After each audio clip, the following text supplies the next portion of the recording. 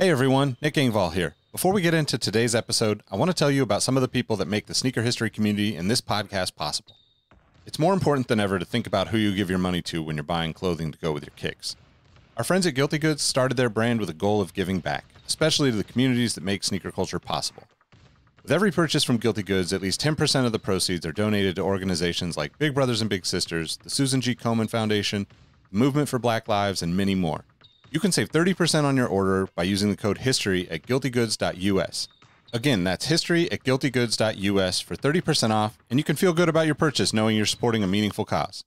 Sneakers are all about presentation, and if you're like me, displaying your kicks at home or in the office is just as important as when they're on your feet. Sneaker Throne makes sneaker display cases featuring customizable LED lights, drop side cases to showcase the entire side of the shoe, not just the heel or the toe, the whole shoe. They've also got display cases for trading card collectors and hat collectors. To me, it's the perfect way to display your collection. You can save at least 10% on your Sneaker Throne order by using the code HISTORY at sneakerthrone.com. That's history at sneakerthrone.com. If you're a Patreon supporter or a member of our Discord community, you already know about Kicks with V hot sauce and his small batch, locally sourced hot sauce. V has been one of the biggest supporters of sneaker history and the podcast since the early days. And he's currently the defending champion in our community trivia nights competition. Kicks with V hot sauce has been a huge hit with the community. You can save 10% on your order by using the code SneakerHistory10 at kickswithveehots.com. That's SneakerHistory10 at kickswithveehots.com. Now, you're probably here because you like sneakers, and if you join the Discord, you know our community is about so much more than that. Whether it's the marathon like community calls, trivia night debates, the in person meetups, or just sharing our favorite experiences, we found that although we have such different backgrounds, we all have some unexpected shared passions. Not only does the entire community look out for each other when it comes to releases, we're like a support group for life in general. You can join the Discord community for free by heading to the show notes of this episode. After you're done listening to this episode, tell someone you like their kicks today. You never know how far a simple compliment can take you, and we all know how good it feels to have someone show their appreciation. Now let's get into today's episode. Jordan trying to shake off Starks. Oh, what a move! LeBron James with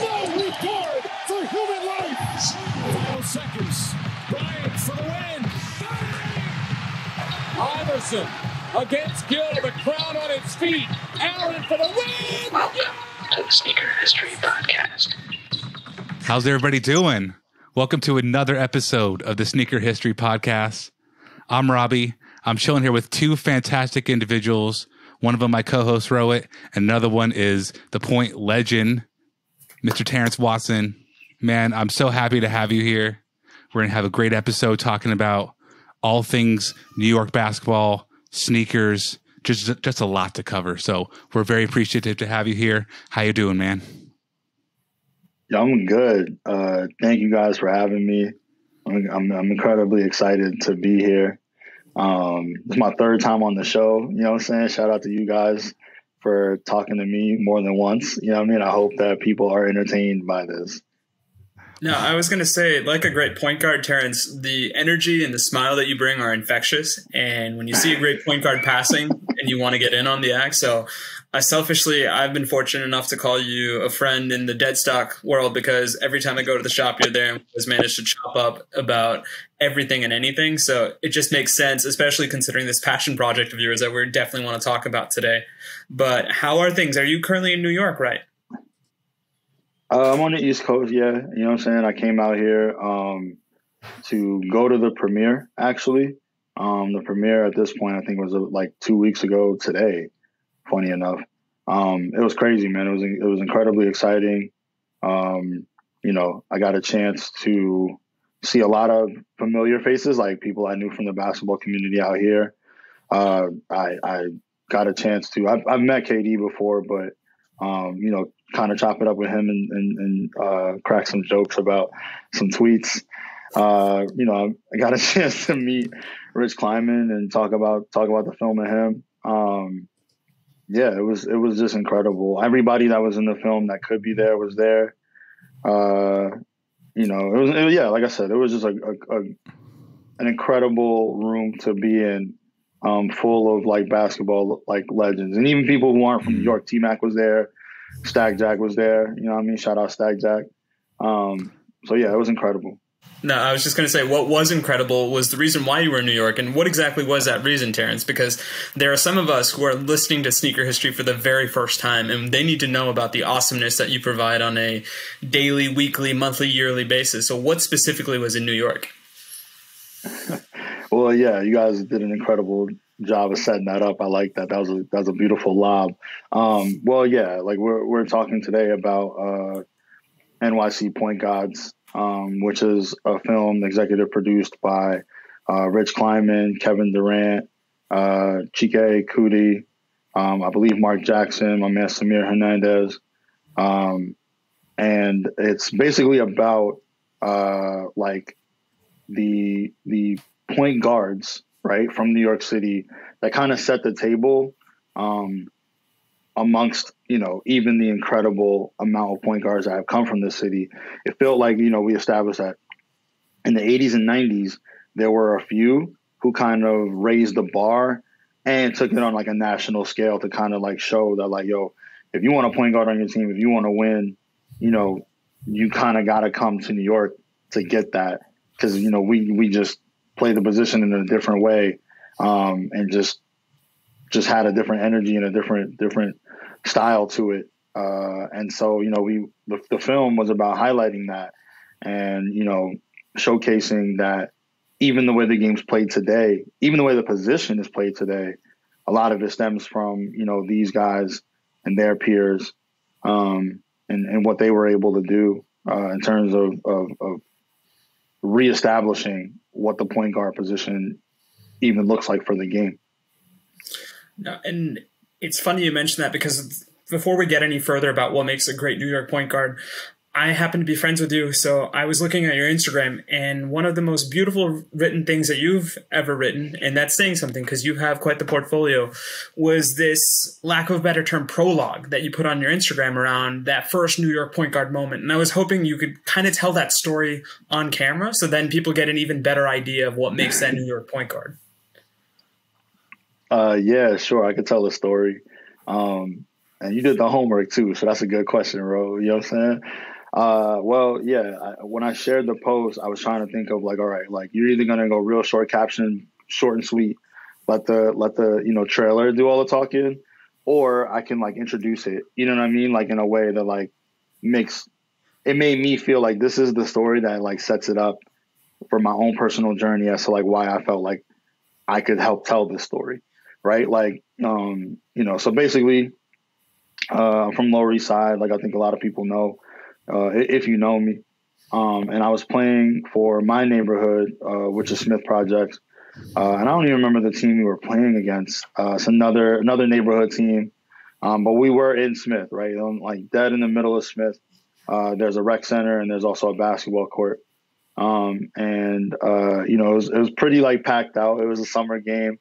And I want to say I was probably like, had to have been like somewhere around 13 or 14, probably 14. Um, so I'm playing with, you know, like that age group somewhere like, like I said, somewhere between 13, 14. Uh, and we're playing against, like I said, a neighboring team. And, you know, at that point, I come down, uh, I had the ball, and it's a tight game. It's the fourth quarter. Um, and I, I tried to make a pass and I turned it over right? Uh, other team calls timeout or something, and we go back into you know our huddle, and my coach like he didn't even draw up a play. He just cursed me the fuck out. Can I curse? I don't even. you can't now. You can now. Let's fly. I won't. I won't curse too much. You know what I mean? Out of respect for everybody. But like, yeah, he cursed me the fuck out. Um, his name was Craig Batchelor. That's my man. Shout out Craig Batchelor, one of my favorite coaches of all time. Um, but yeah, he did not draw up a play. He cursed me out, and he was like, "Terrence, you're not a point guard. Give up the ball. You're more of a slasher. Like, like for real, for real, went in on me on the sideline, and like, I just took it. Like, you know what I mean? I wasn't, I didn't, I wasn't shaking. I wasn't rattled. I just was like, all right, like, he's yelling at me. It's like that's what coaches do, right? So the next play, the team comes down. We get a stop, right? And so again, I think we were, if I'm not mistaken, I think we were down one or down two, but we were down uh, again at home, you know, playing outdoors outside of our rec center. Um, so yeah, I come down, uh, I get the ball, I get the ball like maybe like on the right wing, right? And our best player, I kind of saw him opposite me. So I tried to draw the defense out so to create a little space for him. So I kind of like dribbled like like a tag dribble kind of like towards say like the the right elbow to kind of like engage my defender and like I pulled him out just enough to like create space for uh, his name was Dooley.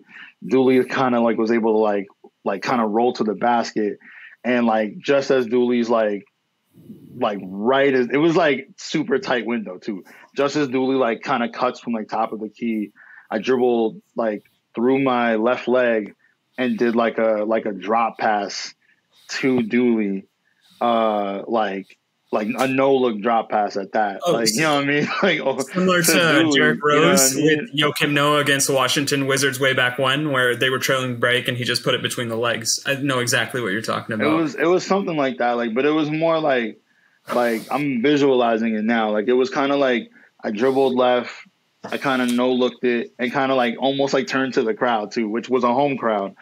And Dooley being like the best player, he was like the real real scorer on that team.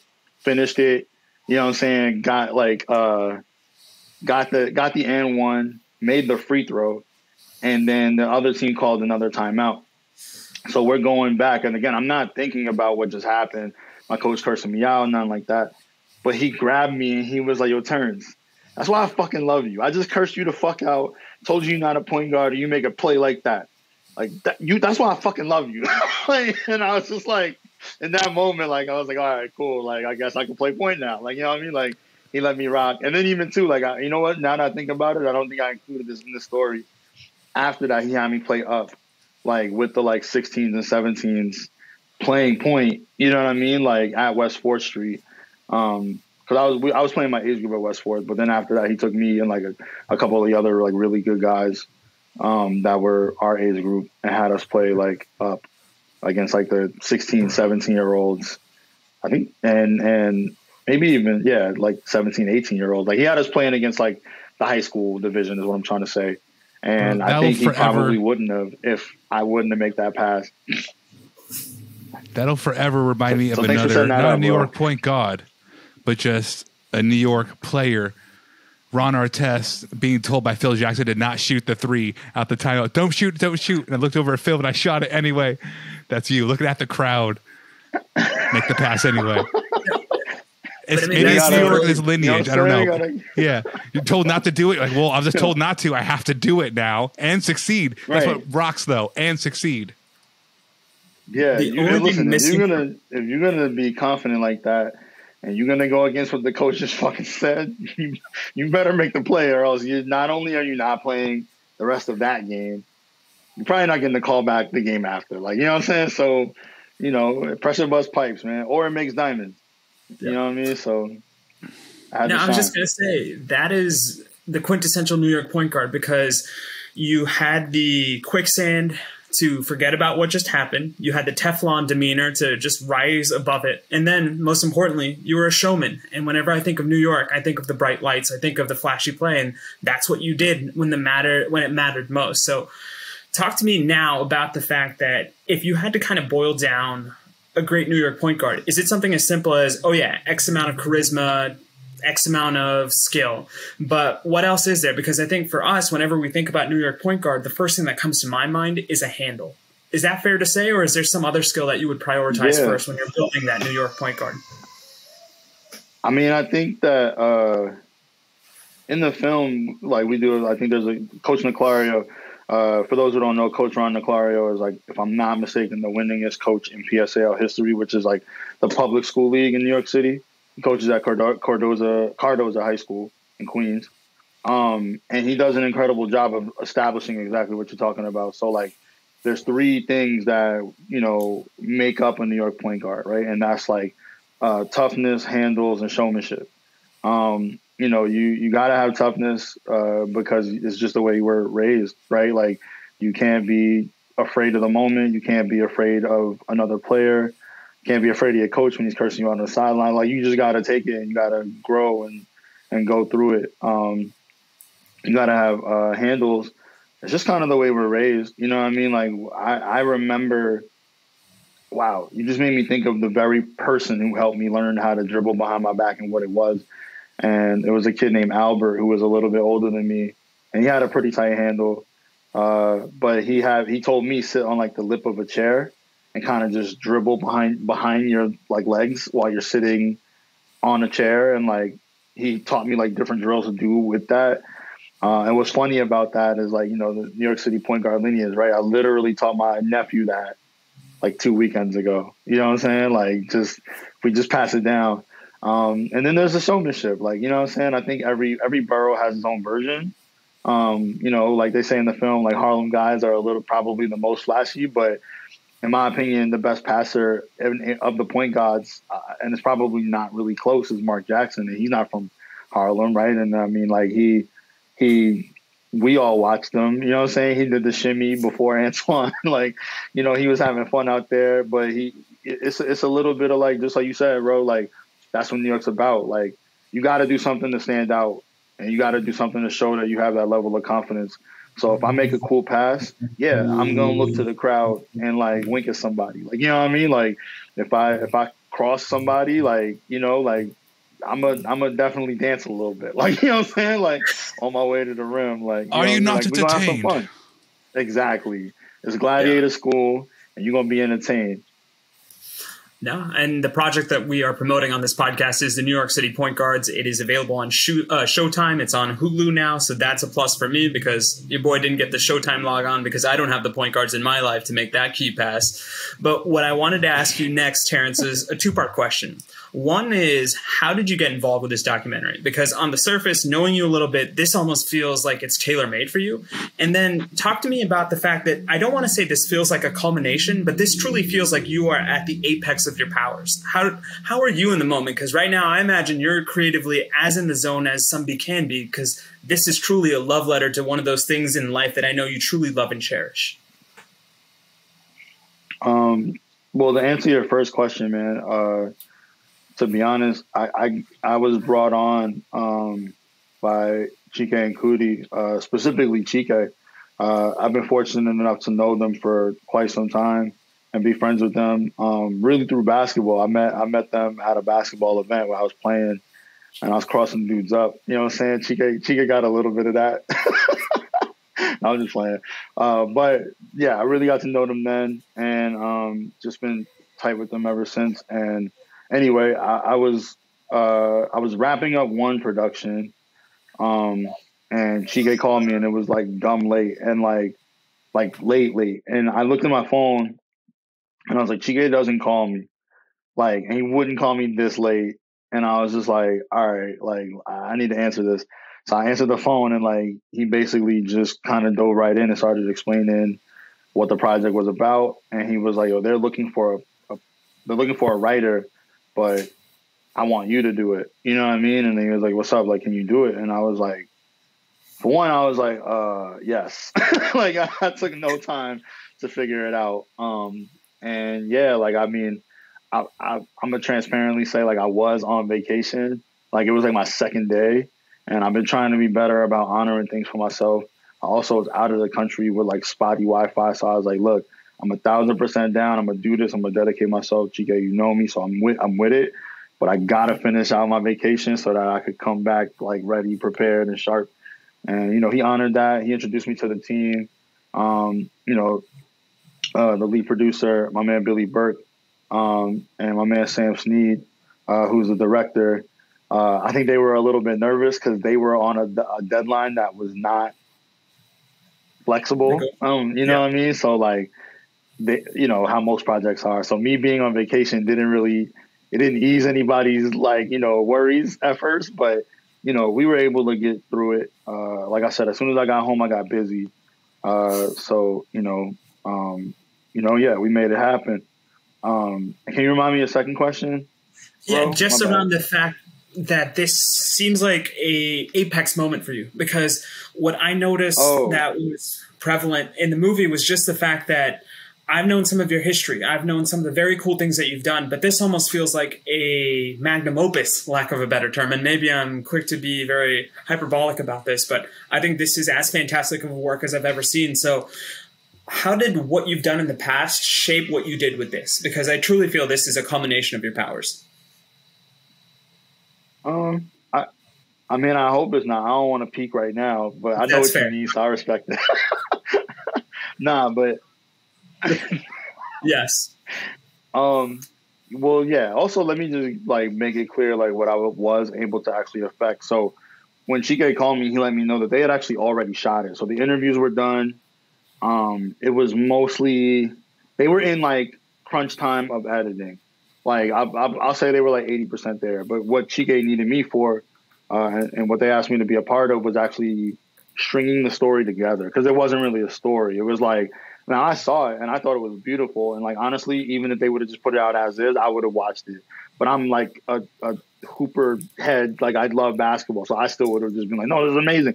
You know what I mean? And I appreciate that they they saw it from like a storytelling aspect. That like, no, wait, we need a story to connect it. Um, so that's what I was able to do. Like I came in and like uh, Joe Kenneth, who was the narrator, he's a poet. He's a spoken word poet. Incredible job. Um, his part was actually already attached to it as well. The the opening poem that you guys see in the trailer and in the beginning of the film. And so seeing even seeing that gave me like one mad energy, but two, I got a sense of how he delivers things. So I was like, okay, cool. Like that's awesome. Cause I can like write to like his beats. You know what I mean? Like I can write to like where I feel like he'll he'll deliver his inflections and like, you know, he and he caught it. Him and I never even spoke and he caught it. Like that's that's what kind of chemistry we had as a team. You know what I'm saying? And and and it was it was you know, we everything after that, like there's a scene that begins with like, you know, the New York City skyline and then um, what we call Crackers Whack Park uptown. Um, and as a kid, like dribbling there. And uh, from that point on, like I pretty much wrote, you know, everything. I think there were a few things I edited, um, you know, as as they went on. But like, yeah, like that was where I was able to like impart. But to answer your question, bro, honestly, like I hadn't really started writing scripts until literally the week of the pandemic. That's a whole nother story, but like, it was If only we had a podcast. I don't know if No, I was just joking around. I'm What'd sorry for derailing you. No, I was just saying if only we had a podcast what'd to get into that long story. Listen, I'm trying to stay on topic, bro. But point is, I was, I was, I don't know what my like uh, whether like the NDA has expired, so I won't say who it was for. But uh, Camp Grizzly brought me on to write a script for someone that is very musically inclined that we all know. I'll say it like that, right? Okay. And uh, that was also doing something with basketball. And um, they were like, same kind of deal actually. Like they they were like, yo, you have we'll be generous and say 10 days, but really it's like seven.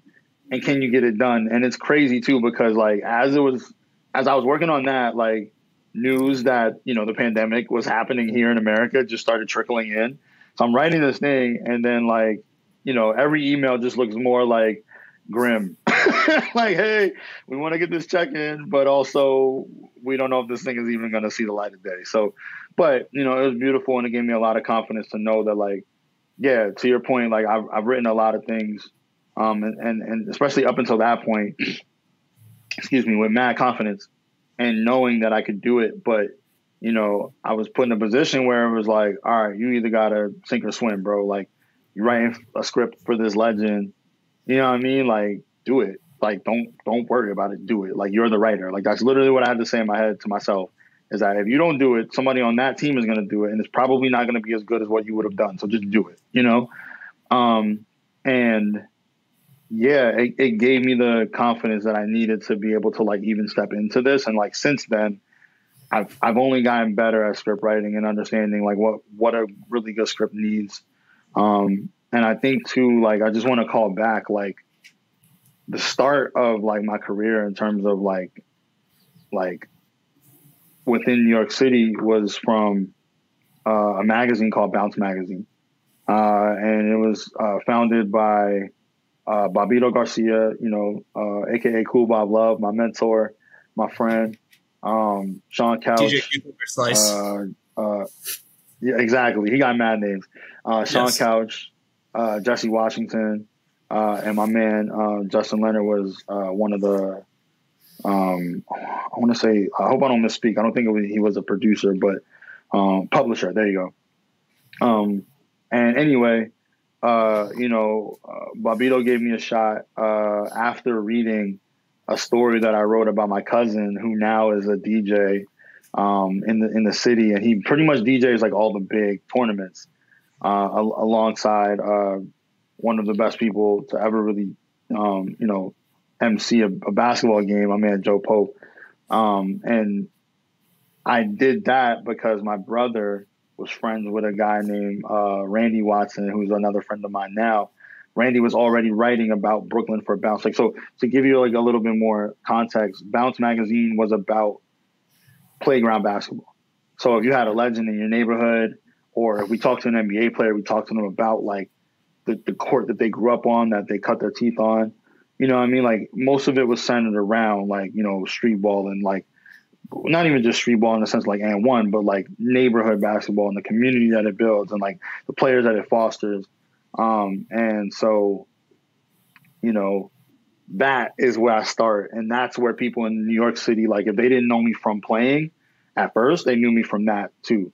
You know what I mean? Like, so like that's where like I really like was able to kind of like impart, you know, relationships, um, you know, and, and get to know players who maybe I didn't know or didn't grow up with or who were a little bit older than me or what have you. Um, you know, get to know like a lot of the directors if I didn't play in their tournaments growing up. Um, you know, and so even then I felt qualified because I'm like, no, I'm a player. Like, you know I mean? Who's a really, who just happens to be a really good writer.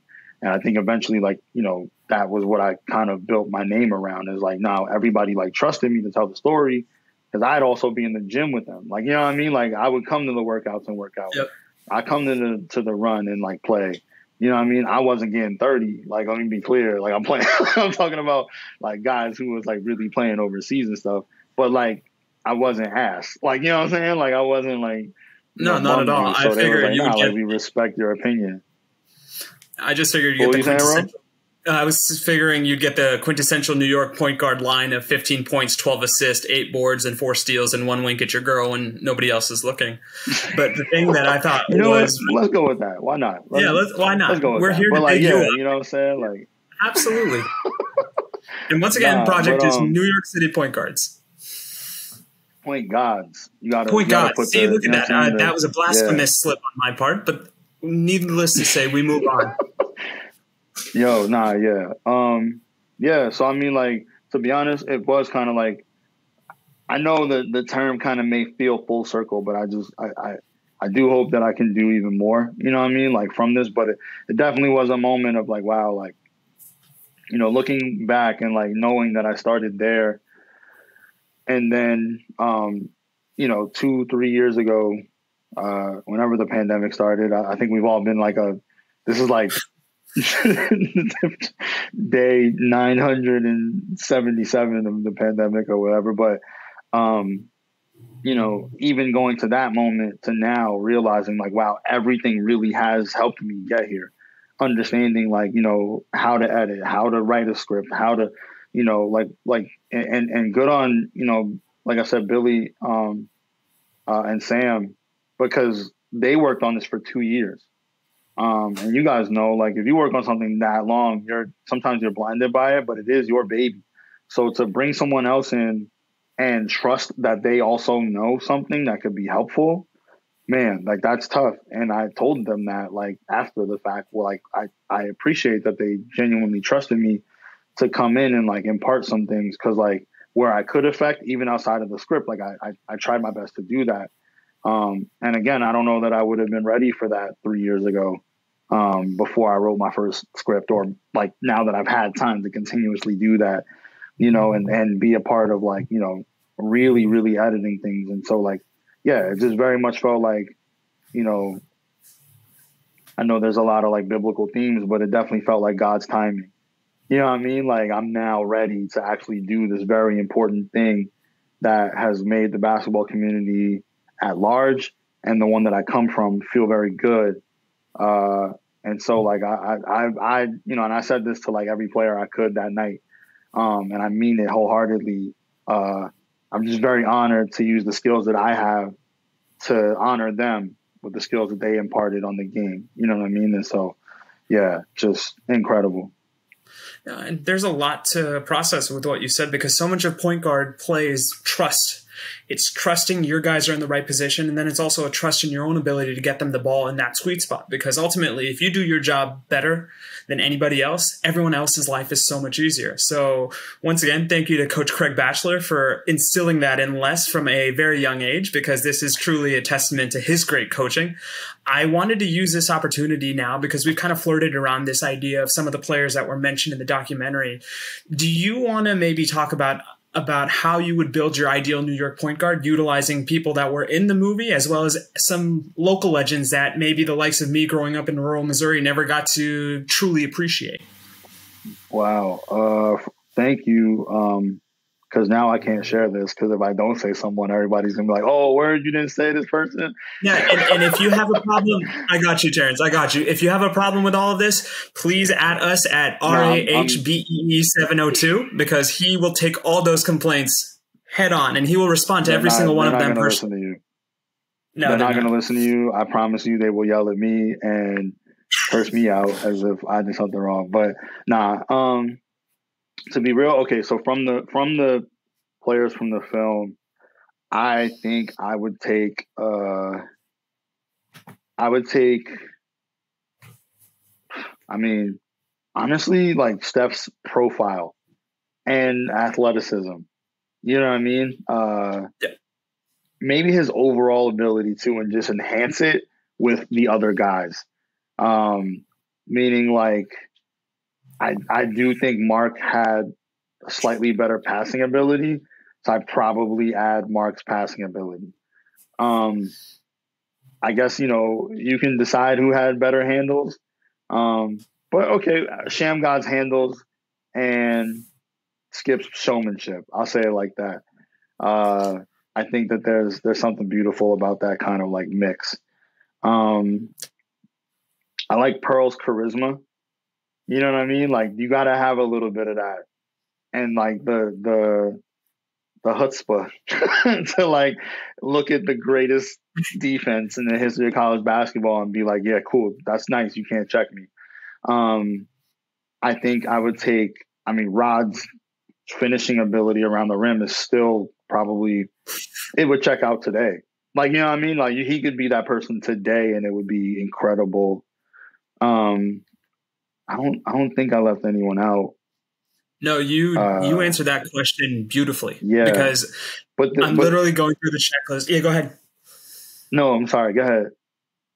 No, I was just gonna say if somebody yells at you for that, maybe Sebastian Telfair. But come on, like Seb, I feel is that next tier. So with what feels like a commonality between all these New York point guards is not only the fact that they're putting on for the city, but they're helping rear that next generation. So similar to how I believe your friend Albert taught you how to dribble the basketball that you passed on to your nephew, if I remember correctly. Like there is that mm-hmm. component to it. So I would say Sebastian Telfair is the next one up that is grooming from your ideal point guard.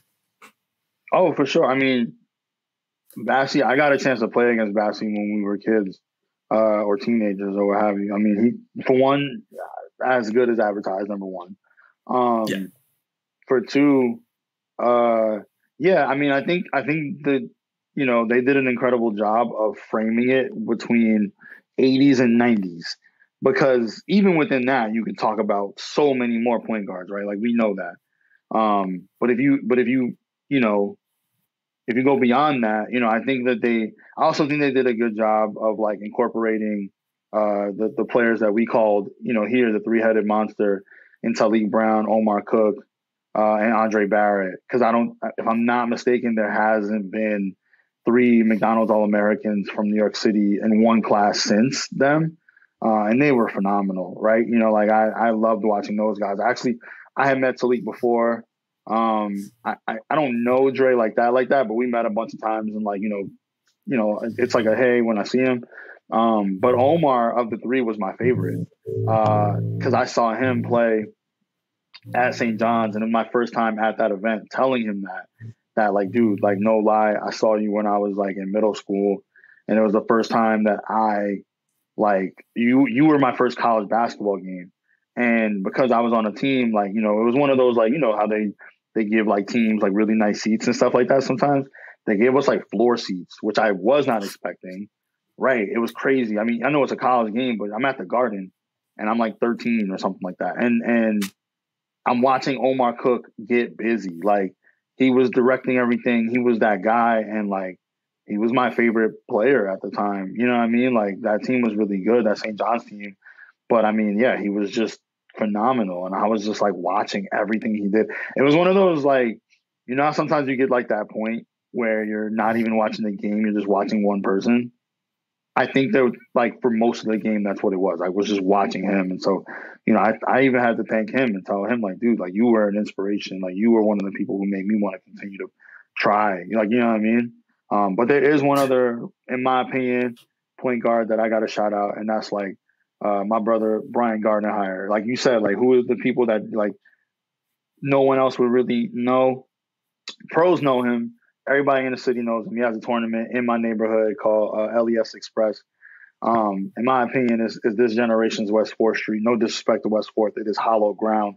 But I think like you know for the for the what's coming up next, you know, in Lower Manhattan, uh, you know what I'm saying? And I, I'll be honest, I've seen Brian go against in his prime, you know, against pros, and you know, I tell people all the time, he he he's shorter. He may be like five eight, five five eight. Let's call it that. But he was a mm-hmm. tiger. Like he was vicious, and like even his handle was just like so quick and aggressive. You you really couldn't touch him. Like I've never seen anybody steal the ball from him. And again, I've seen him play on every level. I've never seen anyone steal the ball from him. I've only seen him maybe turn it over like anyone would. Like, you know what I mean? But even then, like that's not I can count on one hand. You know what I'm saying? Like I've never seen anybody steal the ball from him. And I've seen him embarrass people. Like we're from the same neighborhood. Literally, I've we've had to leave because Brian like shook people so bad that, you know, we're in another neighborhood and they was like not feeling it. like like I've, that's real stories. Like I've seen Brian like I knew I could play when I got on the court and had to guard him and like he shook me, but it was like kind of like there's a point when Kenny says in the film, "Oh, I know I knew I had the confidence to go play against Michael Jordan because before seeing Michael Jordan, he was like, "There's no way he's as good as Pearl Washington. No way." Obviously, he found out that he was clearly better than Pearl Washington, but that's how I felt guarding Brian. When I played against him, I was like, I can guard anyone, even though Brian was like mostly sh- shaking me too. I still had the. It was like a. He was preparing me, like you know what I mean. Like if I could guard you, I know I can guard kids my age, like because Brian's also like four years older than me, I think. So that gave me like a sense of like, yeah, no, like if I if, if I'm not like getting shooken, shaken up every play, you know what I mean? Like I can somewhat stay in front of you. Yeah, I can. There's no other 16 year old that's gonna like destroy me. So yeah, it's kind of like that lineage, like you were talking about, man. We pass it down here. No, but I, there is a sense of a gatekeeper ownership of it because it can't be given to everybody. Like there has to be that New York ability to earn it. Because if there's one thing that's New mm-hmm. York, it's that gritty blue collar mentality, regardless if you're in Manhattan or the Bronx or Staten Island one thing I wanted to kind of touch on because you've briefly mentioned it a couple times, and I figured if we are talking about in that basketball parlance, let me just give you an ISO for three minutes because you've mentioned a name, Pearl Washington, that hoopheads know, but use this as a pulpit to inform the masses about the brilliance of one Pearl Washington, if you could, and take as long um, as you need. Yeah, I mean, you know, RIP to the legend. He's from Brownsville, Brooklyn. Uh, I got family from out there. Um, the the thing about Pearl that I wanted to share on this too was like he kind of had like an early version of what we call NIL deals, only he wasn't getting paid. Um, but the the short skinny story of it is like Pearl was so good that while he was at Syracuse, uh, which was a Nike team, right? Like Nike was paying Jim Boeheim, um, outfitting the team.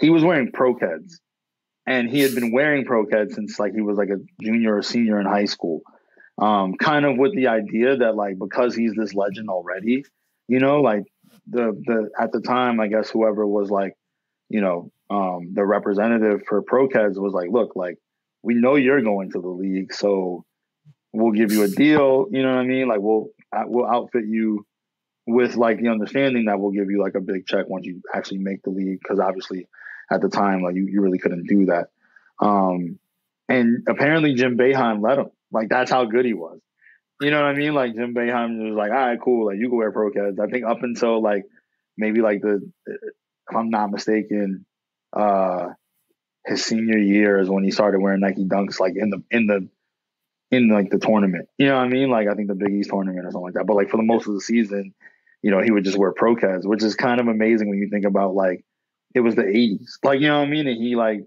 was so good that he had, you know, a coach like Jim Boeheim just let him rock. Um, and because it's a sneaker history, I wanted to drop a little sneaker history. Like, you know what I'm saying? Like, I wanted to impart a little sneaker knowledge um, for those listening so that I know those listening also love basketball, but it is sneaker history. So I wanted to like, you know I mean, stay stay true to the pod and, and drop a gem. That is why you are the point guard, Terrence Watson. Uh, Terrence, before we go, I just wanted to broach that subject a little bit more in depth, which is around the concept of who's next. You had mentioned a beautiful name from the past, but you and I also briefly chatted about the fact that would we see a great New York City point guard, let's say, come from the quote unquote right side of tracks? Because there's this weird kind of unique narrative that all these New York City point guards had to kind of go through some sort of struggle, which I agree. Every single one of us on this earth go through some sort of struggle. But do you ever see a scenario where you would see somebody that may not have the same degree of struggle also take it to the streets in the sense of providing that toughness, having that handle, and that showmanship that may have come from a different part of the town? Um, I mean, here's the thing. Like, there are some guys right now carrying the mantle in terms of like being great point guards from New York City, um, who are in the league, who who play overseas, who who play in the tournaments, right? Um, but I think to answer your question, like that era, it's not that it's gone. You know, I mean, guys guys will come and play in tournaments outside, and you know, we we we that's a part of our culture. You know what I mean? So like, you know, just this past week, if I'm not mistaken uh, you know, Pelicans guard Jose Alvarado, you know, who's from Brooklyn, he made sure to come home and like, you know, play, right? Like he played in our pro city, he played at Dyckman. Um, I'm not sure if he played anywhere else, and if he did, you know, my bad, guys, for not mentioning it. But you know, our our players, it does mean a lot. Even if you are an NBA player, a lot of times they will come come out, you know, because it's for the community, right? Um, and even if you're not, you know, I mean, like we got Isaiah Washington, aka Jelly Fam. You know, he had that incredible, phenomenal wave, right? Like, uh, which was it was lightning in a bottle, right? Like you couldn't really, you can't, you can't recreate that. And and I think that that's like something that really is a testament to like the creativity of a New York guard. You know what I mean? Like just reinventing the game in another way, like you know, bringing something new, like putting a spin on something that's, you know, no pun intended, something that's a little bit like you know, old or classic, you know what I'm saying? Like, how do we give it new life? And I think that that's also a big testament um, to who we are. Um, but to your other point about like, you know, they, yeah, like the city itself is going to make you tough. I, I, don't care what part you come from. I don't care, even if you're from like outer boroughs, you know, like a Yonkers or, you know, Long Island, whatever. Like, you know I mean? Like you're, you're, you're in the city. It's, it's it is what it is. That's, that's how we're, that's how we're we're born. You know what I'm saying? Like that that's what the city will make you do. But um I I do think that every era just has its own its own day and its own style. And like, yeah, I don't I don't I don't know that it's necessarily like, okay, you have to go play outside every day to now be this this thing. Because a lot of the to be honest, like, you know, I see kids now in eighth grade that can do things that college kids were doing when I was a kid. You know what I'm saying? Like the game just evolves and, you know, players get better. But I do think that, and, and this is in the film too. You know, I, ho- I hope I haven't given them too much of the film, but you know, one of the one of the points of showing like how each point guard uh, played a role in evolving the position itself is is the very fact of like, yeah, like at the time it was innovative because you could identify a point guard from New York based on the style of play. But you can't really do that anymore because the style of play that New York has brought to the position has just become baseline for how you play the position. if I was to say like, oh, like toughness, showmanship, handles, I could watch, you know, a YouTube clip of a kid right now from Arkansas, and he probably dribbles and plays and is heady, you know, he, the way a point guard would have been 10, 15, 20 years ago, and you would have been like, oh, what part of New York is he from? And that's not not to say that you can't still do that with New York guards, but it is to say that like, yeah, the position itself has just become, you know, uh, you know, infused with so much of what what New York guards, you know, brought to the game. And so, you know, while yeah, like, you know, I still think that like we we do, you know, produce the best point guards. I still stand on that. Um, there's a stat too, like in case anybody has anything to say about that. This last NCAA tournament, more players were from New York than any other state. You know what I'm saying? So everybody put some respect on it and remember that we still we still out here. Uh, but I do think that the position itself has been affected globally, right? Like you look at you look at almost any point guard, the way they play, the way they dribble, the way they finish around the rim, you know, it, that's that's what we brought to the game. That's what these guys who we're highlighting brought to the game. And so, you know, the position itself, um, you know, like I said, it, it just has while while this I still stamp that New York produces the best players in that position. To play it, you know, you have lineage from these guys, whether you know it or not. And I think that that was one of the key parts of the doc is to make sure that everybody knows.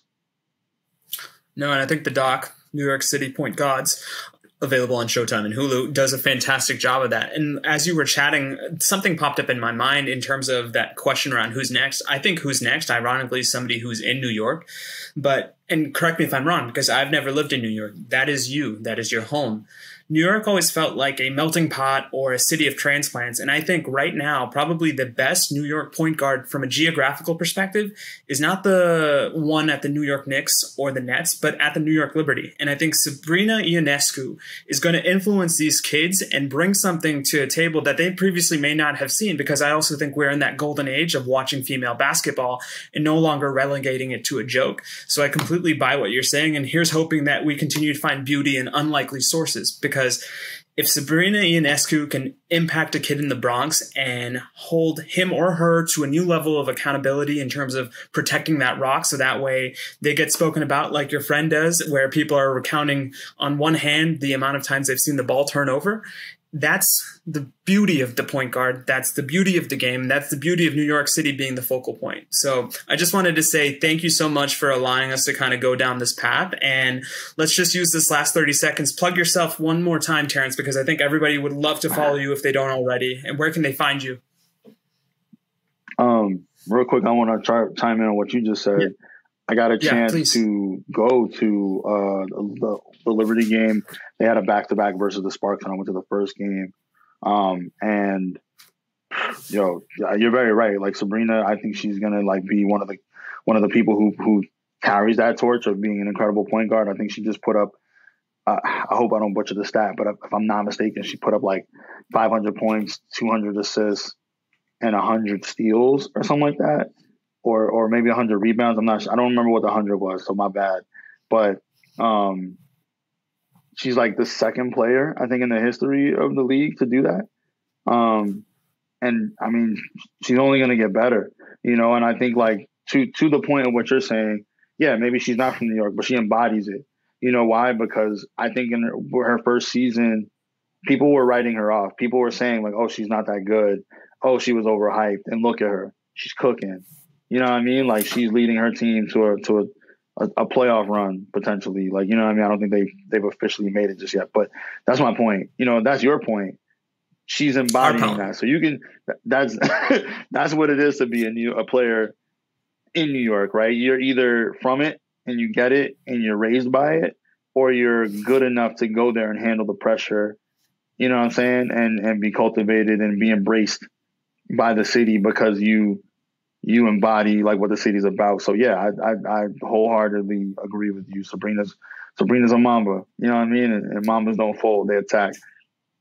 That's exactly it. And with that, um, Terrence, one more time, where can they find you? Yeah, uh, for one, thank you guys for having me, man. This is incredible. Oh, I appreciate it so much. I really genuinely do. Um, go watch uh, NYC Point Gods on Hulu, on Showtime. Um, and if you want to follow me, uh, you can follow me on social uh, social media on Twitter or Instagram at Lower East Scribe. Uh, again, that's uh, Lower East Scribe uh, on pretty much any platform. You can follow me there. Excellent.